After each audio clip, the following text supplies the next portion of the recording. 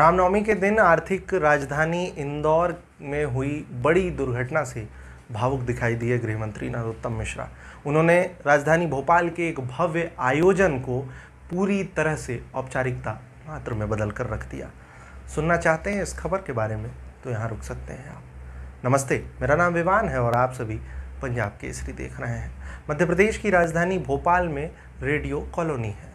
वहाँ पर 138 पुलिस आवास गृह का लोकार्पण कार्यक्रम 30 मार्च रामनवमी के दिन होना था।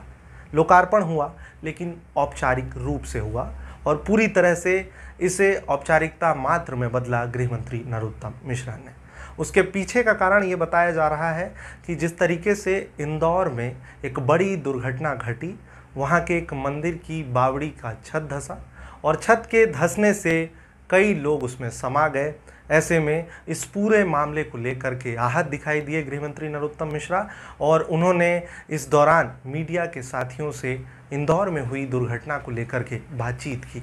सुनिए, क्या कह रहे हैं वो? महादेव झूलेलाल मंदिर की बड़ी दुखद घटना आज रामनवमी को हुई है। वहाँ पर एक बावड़ी टाइप की जगह थी जिसके ऊपर छत डाल के ऊपर मंदिर बना लिया था। वो छत धसक गई। पच्चीस तीस लोगों की जानकारी उस समय उसके अंदर गिरने की आई। उन्नीस लोगों को उसमें से रेस्क्यू करके बचाया। अभी उसमें ग्यारह बॉडी निकाली हैं। उनमें दस महिलाएँ हैं, एक पुरुष है। दो, जो उन्नीस रेस्क्यू किए थे, उनमें से भी दो हमारे बीच नहीं है। ऐसे तेरह का एक बड़ा हादसा दुखद हुआ है। घटना की तत्काल जाँच के आदेश दे दिए हैं। भीड़ बढ़ी, क्यों बढ़ी? छत दस की कैसे दस की एक दो बच्चे की जानकारी आ रही है कि वो भी मिसिंग है।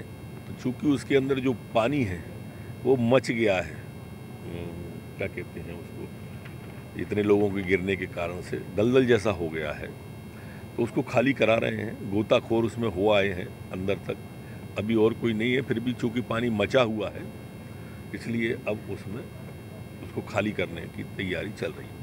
प्रधानमंत्री जी ने भी ट्वीट किया है प्रधानमंत्री जी ने बात भी की है। माननीय मुख्यमंत्री जी से मुख्यमंत्री जी लगातार संपर्क में बने हुए मुख्यमंत्री जी ने ही जाँच की घोषणा की खबर तो यहाँ तक है कि गृहमंत्री ने सीधे तौर पर अपने स्वागत से भी मना कर दिया।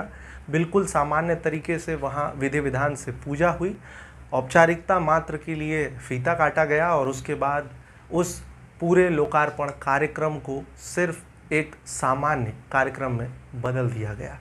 यही नहीं, इस पूरे मामले को लेकर के जहाँ एक तरफ़ गृहमंत्री नरोत्तम मिश्रा भी भावुक दिखाई दिए तो वहीं प्रदेश भर में शोक की लहर है।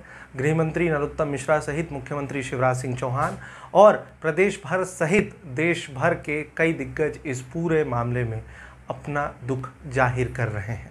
मैं बता दूँ कि कई बार ऐसी तस्वीरें आप लोगों तक इसलिए लेकर आता हूँ कि आप हमेशा किसी भी राजनीतिज्ञ से जुड़े, किसी भी कार्य को सिर्फ़ राजनीति से जोड़ करके ना देखें, बल्कि थोड़ी देर के लिए अगर उन्हें इंसान मात्र आप समझेंगे तो ये समझ पाएँगे कि किसी इंसान के लिए कोई भी दुर्घटना दर्दनाक ही होती है।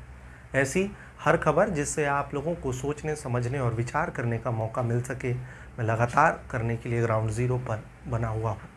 भोपाल से पंजाब केसरी के लिए मैं विवान।